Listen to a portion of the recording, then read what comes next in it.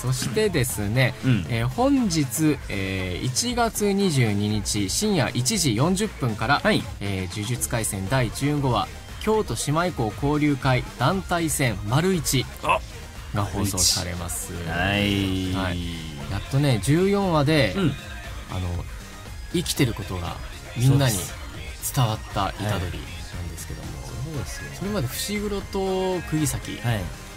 とは別行動だったね。そうなの。こんなメインキャスト別行動なことあるってぐらい。いやそうなんですよ全然スタジオでも合わなくて、ね、途お中から、気づきになられた方いると思うんですけど、はい。半分ぐらい出てないんですよね。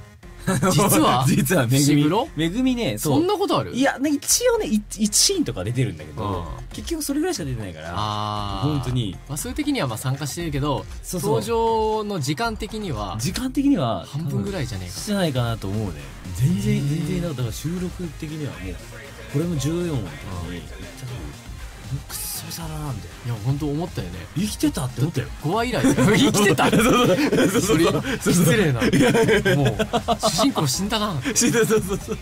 いや思うよ。だって5話からだから9話分そう9話分そうだね。そんな合わないってなかなかないよね。なかなかない。